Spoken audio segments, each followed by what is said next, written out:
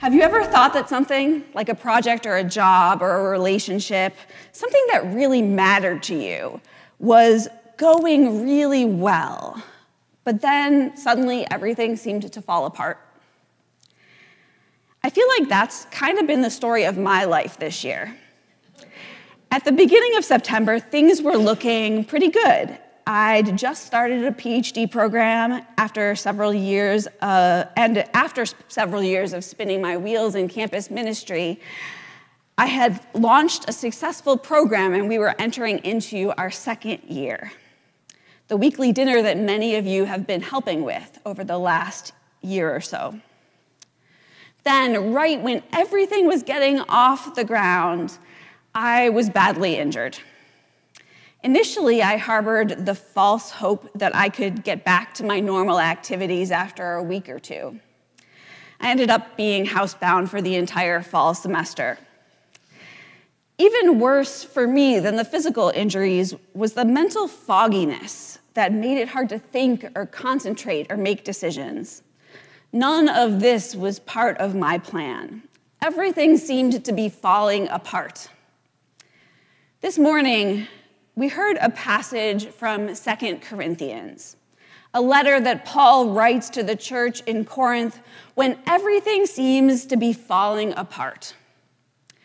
Paul had previously spent a year and a half in Corinth, sharing the gospel and forming a church community. By the time he left, the church community in Corinth seemed to be really strong. And Paul also felt like he had a really strong relationship with the people there. As Paul continued on to take the gospel to new places, he stayed in touch with the church in Corinth through letters. Unfortunately, the church wasn't quite as strong as Paul had thought. He wrote 1 Corinthians to address several areas of conflict among people in the church, along with theological questions. However, after that letter, sometime, uh, it also became clear that Paul's relationship with the Corinthians wasn't too solid. Second Corinthians is his attempt to salvage a relationship that has become increasingly strained. So, what's been going on while Paul's been away? It might help to think of first century Christianity as kind of the wild west of the church. None of the Gospels had been written yet, so there was no established story of Jesus' life, let alone the theology to understand it. There were also quite a lot of people around who felt called to share and spread the gospel after they had come to believe it themselves, often without any kind of relationship with one another or with the apostles who had known Jesus while he was alive. It's no surprise then that Paul wasn't the only one to go to Corinth to preach and teach. It seems like some of these other folks who had come to Corinth after him disagreed with Paul on various theological topics, and they even called his authority into question because he didn't do any flashy miracles. That wasn't his style. Paul was upset on his own behalf when the church started to doubt him. But he was also concerned that the Corinthians would start to believe in a false theology instead of the true gospel. In other words, both his relationship with the church and the hard work he put into converting and teaching them seemed like they were unraveling. He felt like he needed to do something, but the last time he'd visited in person, it really hadn't gone very well. So he decides to write a letter.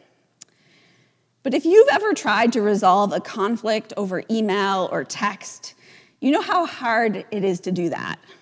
Without being able to hear someone's tone and inflection, written words can be misinterpreted and add more fuel to the fire rather than helping to put it out. Paul has to choose his words carefully if he hopes to be reconciled with the Corinthian church. In this morning's reading, he owns his own weakness and limitations, in some ways, accepting the criticisms of the people who had come after him and that had leveled these critiques of his approach. He makes his weakness part of his testimony. After all, he says, flashy miracles draw attention to the person who performs the miracle, not to the God who enables it. As Paul says, we're not in the business of proclaiming ourselves. It's not about us, it's about Jesus, proclaiming him and making him visible in our lives. Then he turns to the question of theology by focusing on the God who said, Let light shine out of darkness. In this, we hear the resonance of that first day of creation when God calls forth life, light out of darkness, creating day and night. We also hear echoes of the first chapter of John that passage that we read each Christmas the light that shone in the darkness, and the darkness did not overcome it. That living light is the source of our knowledge of the glory of God in the face of Christ. But here is where Paul shares what is really good news for us in this passage that light of God, present from creation, present in Christ, has been shared with us too. It is this treasure that Paul refers to God in us. Of course, Paul is quick to say that we have this treasure in clay jars. Doesn't mean that life is going to be easy. These clay jars are fragile, they're prone to chip and crack. This is what it means to be a human being, living in these in between times after the resurrection, but before the fulfillment of God's reign. It means living with the strength of the Holy Spirit and the weakness of human frailty, all at once in one contradictory package. That's why Paul can describe us as afflicted but not crushed, perplexed but not despairing, persecuted, but not forsaken, struck down, but not destroyed. Of course, most of us have probably had times when we felt crushed or forsaken, when we were driven to despair. Thankfully, these moments are only part of the story, not the whole story. They are also moments that Jesus shared with us ways that we carry in our mortal bodies the death of Jesus, who was persecuted and afflicted, who cried out in despair, asking why God had forsaken him, who was indeed struck down. And yet, Christ did not stay struck down. He is alive, and so we carry the death of Jesus in our bodies so that the life of Jesus can be made visible. We are a resurrected people, not an immortal people. I've never felt my mortality more acutely as I did this year. There's something incredibly vulnerable about being wheeled into an operating room. In our culture, there's also something incredibly vulnerable about admitting that you can't do it all, that you need help. Yet, when everything fell apart for me, it created an opening for grace. My professors and classmates were generous and compassionate, making it possible for me to continue my studies while I was stranded at home. Volunteers from here at church and from campus came forward to keep the food ministry at MIT going. When I stopped being the strong one, it created space for people to show me that they care to show up for one another. I met the living Christ in the hands that helped, in the words and expressions of solidarity. It was only when my clay jar cracked that I could see the light inside. And so a weird thing happened. When everything fell apart, I didn't fall apart. I really expected to. I've never been particularly good at that keep calm and carry on thing. And they don't call it trauma surgery for nothing, let alone five surgeries in eight months. Bad things kept happening. I was often perplexed, But I can't remember any despair. And I can only chalk that up to God because my own strength was pretty tapped out. God's strength shone through my brokenness. But that only speaks to my own experience.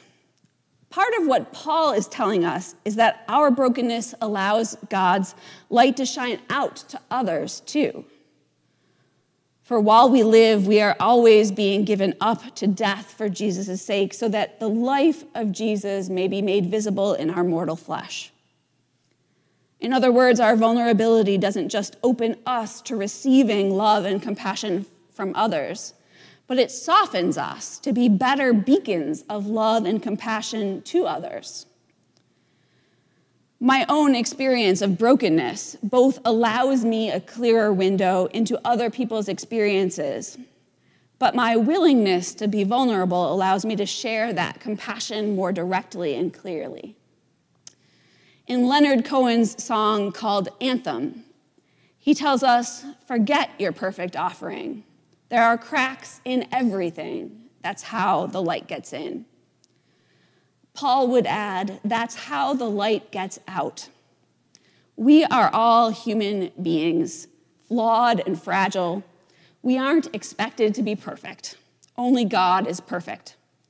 In fact, our own brokenness can be an unexpected gift,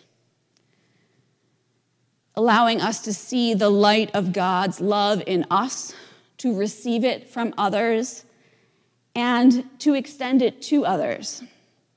When we seem perfect, it's kind of like proclaiming ourselves. We get the credit. When we are vulnerable, we proclaim the God who is our strength in weakness, and we become beacons of and witnesses to God's love. Brene Brown has described courage, compassion, and connection as the gifts of imperfection. In other words, when we stop trying to be perfect, we grow our courage we expand our compassion and we strengthen our connection to one another. What would it be like if we all stopped seeing imperfection as inadequacy and instead embraced our human limitations like Paul does as a way of creating space for God and Christ to become more visible in and through us? I invite you into the spiritual practice of embracing human frailty as a gift, to accept others' love and support in response to your broken places, and to extend love and compassion toward others in their brokenness too. In doing so, we meet Christ in one another. Will you pray with me?